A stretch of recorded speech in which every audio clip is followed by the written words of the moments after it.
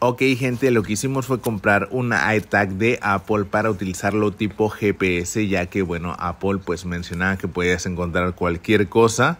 Y bueno, vamos a ver si nos sirve esto pues para encontrar lo que viene siendo en nuestra moto o bueno, en caso de que pues nos las lleguen a pues robar o algo así parecido por el estilo, pues ya vamos a saber más o menos con exactitud dónde está.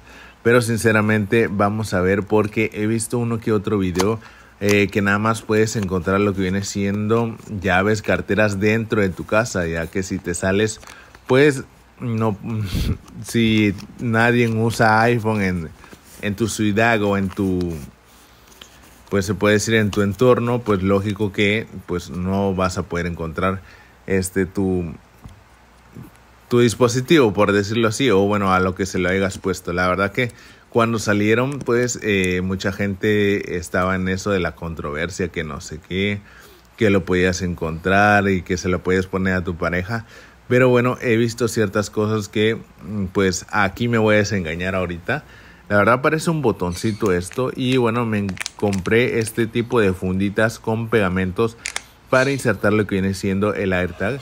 Y bueno, se lo voy a poner aquí en lo que viene siendo pues la ubicación de esta tapa. Más o menos aquí tiene lo que viene siendo la batería y ahí es donde vamos a insertar pues este dispositivo. Y bueno, aquí ya lo tenemos listo para pues eh, meterlo. bueno, un error lo comete cualquiera.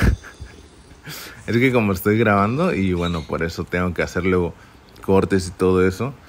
Y bueno, pues ya aquí ya ha quedado insertado en esta pues tipo fundita con pegamento para que no se vaya a caer el AirTag. La verdad, pues me gustó, se ve bastante guapa, tiene como cojincito, entonces vamos a meterla aquí mero.